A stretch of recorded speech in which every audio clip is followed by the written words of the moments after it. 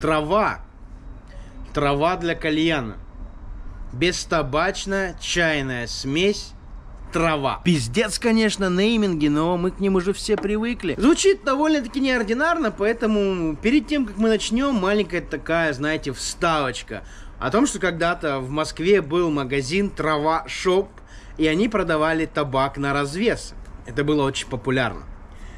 И на тот момент у всей, так сказать, индустрии, у всех любителей кальяна на тот момент вызывало это название очень негативные эмоции. Фу, блядь, трава – это наркотик, а ребята так назвали магазин. Но со временем это прижилось, это стало даже популярно, потому что очень сильно звучало, и как-то такое прям интересное название. Но ребятки закрылись, но это слово трава в кальянной индустрии живет до сих пор. Правда, не уже не с этими ребятами, но оно живет. Поэтому у нас сегодня на обзоре трава. Без табачной основы на чайном листе. И давайте я вам сегодня про нее немного расскажу. Ребятки на самом деле выпускают два продукта, о которых лично я конкретно, блядь, знаю. Вася, блядь, я два конкретно бренда знаю. Это смесь АСД и, конечно же, трава. То и то довольно-таки разные продукты.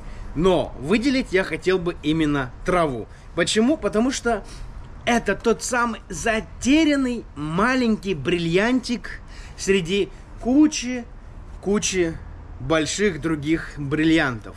Но маленький он или нет, он остается бриллиантом. И об этом я хотел бы сегодня рассказать. Опа! Открываем. Что мы имеем? Мы имеем вот такой вот дизайн, где трава, а сделана она в стиле искусственной травы с Леруа Мерлена. Красивая, интересная баночка, где каждая баночка это дизайн вкуса и что мы имеем внутри.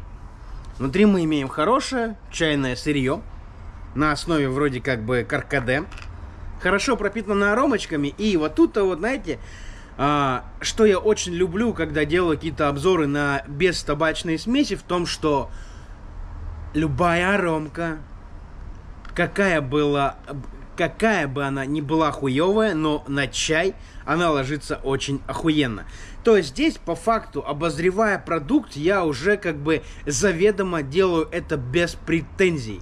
Почему? Потому что, ну, нельзя уже испортить чайную смесь чем-то очень-очень хуевым. Ну, если, конечно, блядь, здесь не будет какой-то хуйни внутри банки, и ребятки просто не захотят поугарать. И ты вроде бы и так, и сяк, но это очень хорошо.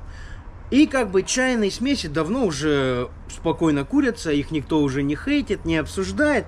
Поэтому я думаю, надо бы забить а, на нашей новой механике Cyber кое-что. Но мне прямо сейчас пришла идейка. Недавно мы с друзьями собирались поехать э, на природу. Я знаю, что у меня целая гора сумок дома для кальянов. Но я ни одной не нашел, потому что мы сейчас находимся в стадии ремонта. И мне пришлось на Wildberries заказывать вот такую вот сумочку. Я подумал, нахуя мне выебываться, если я могу взять самую обычную, самую максимально дешевую, но более-менее качественную. Выбор пал на вот такую вот сумочку. И она самая простая, в ней нет ничего, а самое главное это цена в полторы тысячи рублей плюс бесплатная доставочка. И я подумал, а почему мне не поехать сегодня снимать и доснимать обзор травы с друзьями куда-то на отдых? Почему не уехать? Сумка у меня есть, все я это сейчас положу. И мы поедем. Вы тоже поехали со мной. Привет. Нормально доехали? Удобно в сумочке Smoke and Go за полторашечку на Wildberries? Ну, ребятки, вот и все. Очень быстро, очень портативно и мобильно мы в лесу, на природе где мы можем спокойненько дальше уже поговорить про бренд трава и, собственно, примерно поделиться, что из себя он представляет и что ты получишь за деньги, которые он стоит. Что первое хотелось бы сказать о насыщенности вкуса.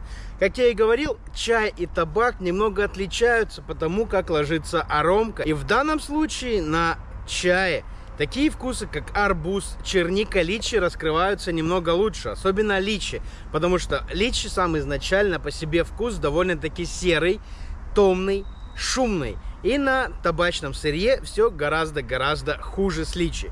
Но на чайном сырье личи это что-то нереально крутое.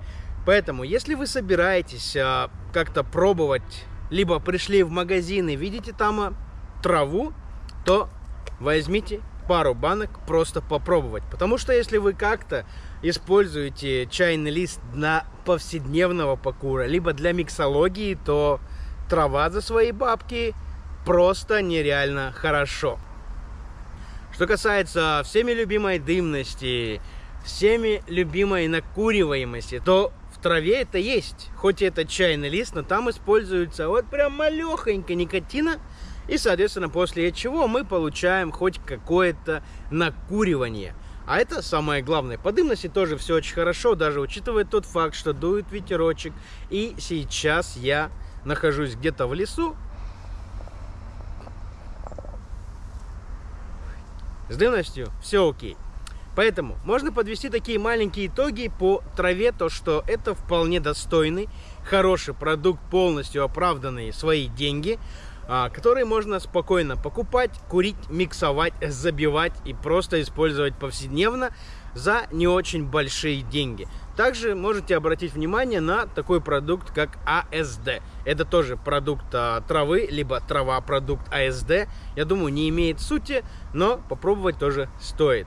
Это Дава Дым, это подростовский лес. Всем пока-пока. А, ну и самое главное. Спасибо сумочке Smoke and Go за полторы тысячи с Wildberries.